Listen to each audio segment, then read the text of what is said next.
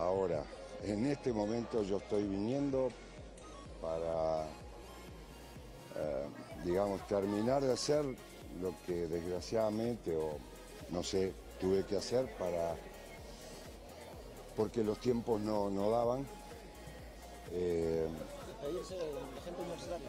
Claro, me vengo a despedir, eh, pero, pero también a cerrar los papeles y cualquiera que ha vivido en el exterior sabe cómo es esto, que no es solamente firmar una rescisión y te vas.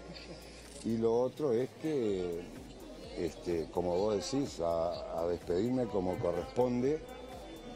Eh, tuve que me, me pareció que hacía lo que correspondía, dejándole las manos libres a, a Universitario, pero no porque me cause eh, poca, poca tristeza tener que, que irme de Universitario. Eh, pero bueno, nunca entré por la ventana, nunca entramos con mis compañeros por la ventana de ningún lado, ni nos vamos por la ventana de ningún lado. Así que a despedirnos como corresponde de todos los funcionarios y por supuesto, ni que hablar del plantel el próximo lunes cuando... Y este apresuramiento para venir obedece a que quiero volverme para la fiesta, que yo tenía para venirme y quedarme para trabajar y venía mi familia para acá. Ahora es al revés. Ahora vengo y me quiero ir el 22-23 para la fiesta. ¿qué significa, qué para usted dirigir a esta selección peruana? Una selección que llega en un momento complicado, seguramente usted de dirigir a universitario, sacarlo campeón, va a la selección peruana que, que en ese momento no atraviesa por una buena situación. Para usted, ¿qué significa? o estamos sordos.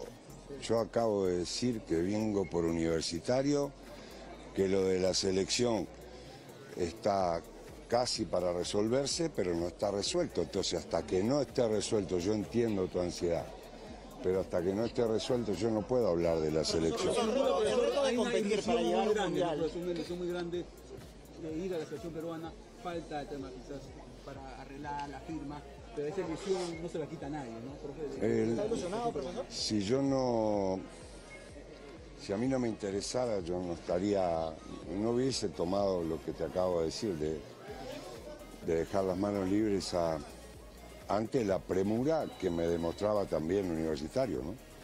O sea, por eso es de común acuerdo. Ahora, eso es, este, porque sin ninguna duda eh, estoy convencido de que se puede. Si no estuviera convencido de que se puede, no asumo. Está bien que soy medio, medio loquito, pero tampoco tanto como para asumir algo que no estoy convencido. Yo estoy convencido que se puede. Está en esa posibilidad. Hay mucha emoción, mucha ilusión del hincha de- de- del peruano para que usted sea el técnico de la selección peruana. ¿Cómo siente eso usted? Mucha aprobación, profesor. Bueno, eh,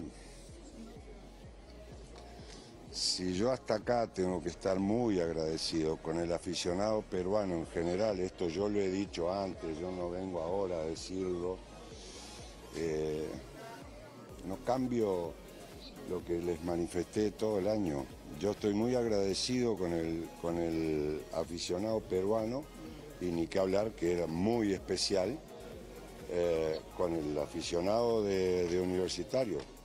Lo otro es cuestión de futuro y, y como le dije al colega, eh, no quisiera adelantarme a, a hablar de, de la selección cuando yo todavía no estoy, no soy el técnico. Hay Una duda que tiene todo el país. ¿Usted hubiese estado dispuesto a hacer la doble función, digamos, dirigir a la U en paralelo a la selección o descarta de llano el personaje? Nunca, nunca se me planteó, Pero pero si hubiese sido por usted, ¿hubiese estado dispuesto a hacerlo? nunca se me planteó.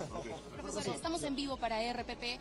¿Qué es lo que más le gustó o le gusta, le atrae del proyecto selección? Lo que le hizo tomar la decisión de, de dar un paso al costado de universitario en el, centenario. Eh, le decía a tu compañero antes de que vos te filtraras por abajo, eh, a tu colega, si Andreita es una campeona, eh, que mi prédica siempre hacia los jugadores, cuando estoy en los clubes, es a los que tienen eh, la posibilidad de ir, recuerden que es ir a la selección es un privilegio y no hay club, entre comillas, en ningún país que sea más importante que la selección. Eso es lo que te puedo contestar, de- porque esa es mi forma de pensar, pero es de, de toda la vida. Profesor, para que se dé este acercamiento con la selección, ¿qué tan importante fue el diálogo o los diálogos con Juan Carlos Obliques? Y fundamental. Eh, en primer lugar, porque es un colega con tanta más experiencia que yo. Y para mí es un halago que un técnico de su trayectoria piense que yo soy el idóneo para, para conducir en este momento a la selección. Y el la Como hombre de fútbol, usted comparte el concepto de que Perú está alejado de lo primero porque son tres, cuatro puntos. O sea, incluso usted no descartaría el sexto puesto. Como hombre de fútbol, le pregunto, o sea, el comentario en general, no- al margen de la- del carro de selección. Estamos cerca. ¿Cómo lo ve De, la- de nuevo, si yo no estuviera convencido que se puede, loco no soy, ya les dije. Así que es claro que esté yo o esté quien sea. ¿Cómo vas a descartar? Claro, falta tres ¿Es el cuartas partes. de su vida, profesor, llegar a la selección peruana? ¿Podría ser? O llegar a la Copa del Mundo, profesor. Eh, ya lo hablaremos. Estamos en vivo para Canal N. Eh, parece que Piero Quispe se va al fútbol eh, eh, mexicano. ¿Le gusta esa idea? ¿Le gusta Piero Quispe? Usted lo utilizó mucho Piero Quispe. Me enteré eh, ayer o anteayer con, por, la, por las noticias que yo leo, yo no tengo redes, y las noticias me, me dicen que, que este, sí, aparentemente hay un club mexicano, si no estoy equivocado, y que ya estaría todo hecho.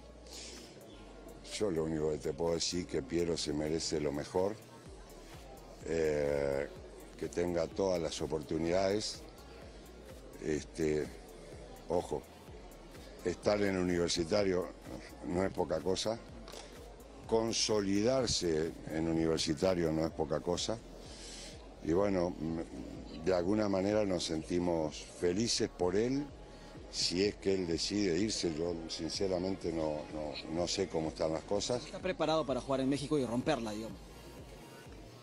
Eh, él está, a ver si fue llamado a la selección, no, no lo digo yo. Fue llamado a la selección del Perú y no s- ya había sido llamado antes, pero ahora jugó y jugó de verdad y creo que dejó claro cuáles son sus cualidades. ¿no? ¿Cómo se imagina el fútbol peruano aquí de dos años y medio?